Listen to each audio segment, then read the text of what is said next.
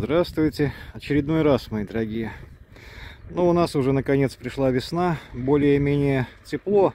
Я говорю более-менее, потому что ночью может быть и минус один под утро, а под вечер, ну, плюс 10 может есть уже.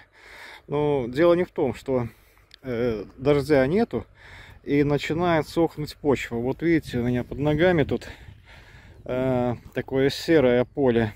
Это, ну, довольно много тут глины сеять еще рано, но если так э, оставлять почву, э, пока ну, земля нагреется, почва, э, тут уже культиватор будет большие комни э, ну, ломать. Глина засохнет, будет комня. Ну и поэтому э, сосед, ну как каждый год, делает одну операцию. Вот тут он первый след уже проехал. Э, Т-40 идет бой, старичок. Э, к нему прицеплен э, ну, довольно такой сложный агрегат, который вы сейчас увидите. И он производит такую как микропланировку, микрошлифовку. Кажется, что там есть. За трактором подцеплен обычный шлейф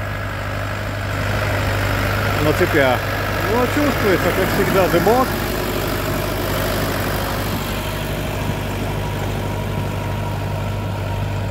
Скажете, зачем такую чепуху э, делать? Ну, я говорю, э, чтобы разбить в основном эти комья. И плюс, видите, земля уже, почва в таких как трещинах. Когда пройдешь шлейфом, эти трещины засыпают, засыпаются, ну, равняются. И э, почва не так быстро сохнет, сохраняется влага. Вот в этом месте, где я стою, тут такой как пригорок, длины больше. Видите, даже шлейф уже почти не делает то, что ему надо сделать. А там дальше в низине еще, ну, даже мокро, можно сказать. Ну, вот такая операция, которую не дождешься. Когда хорошо и когда плохо. Ну, плюс шлейф этот немножко равняет поле. Какие микровпадины небольшие. И, как всегда, когда поле пашется, сейчас подойдем поближе, э, остается разор. Ну, большой-небольшой, но он остается. Потом культиватором надо по 2-3 раза ездить, чтобы его более-менее заровнять. А шлейфом, ну тоже 2-3 раза нам надо про проехать. Но он э, лучше засыпает этот разор. Вот тут, где земля еще мокрая, там так она лучше рассыпается. Ну, тоже этот момент поймать, когда не слишком мокрое, не слишком сухо. Ну, поле на полях вон видно пятна, где, где рыжее пятно, где черное. Вот тут, можно сказать, сама низина, даже черный дым появляется. Такой много набирает э, земли шлейф. Ну что же, это поле самое сложное, а тут, ну работа, что, рулю и рулей по полю.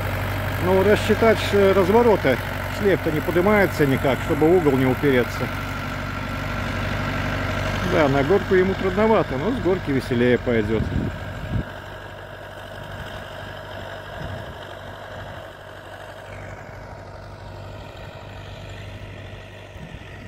После, после шлифовки с э, поля, если в оптимальное время это сделать, почти можно сеять. Э, земля у нас несколько сантиметров, она уже, почва э, довольно мягкая. Ну и потом, после вот такой обработки культиватором, немножко одним следом пробежаться, все, поле готово. Все идеально, красиво, ровненько.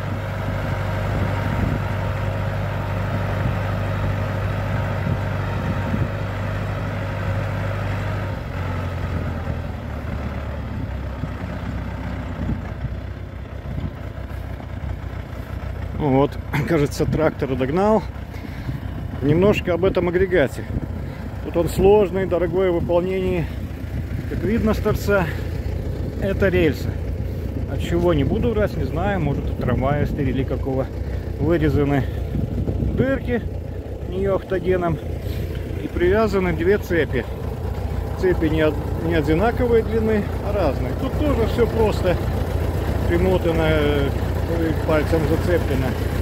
И она, эта рельсина идет, ну, под углом 45 градусов.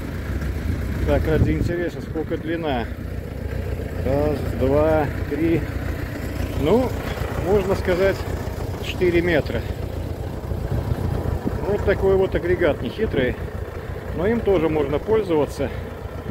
И результат есть. Ну что ж, всем спасибо, до свидания, всего хорошего.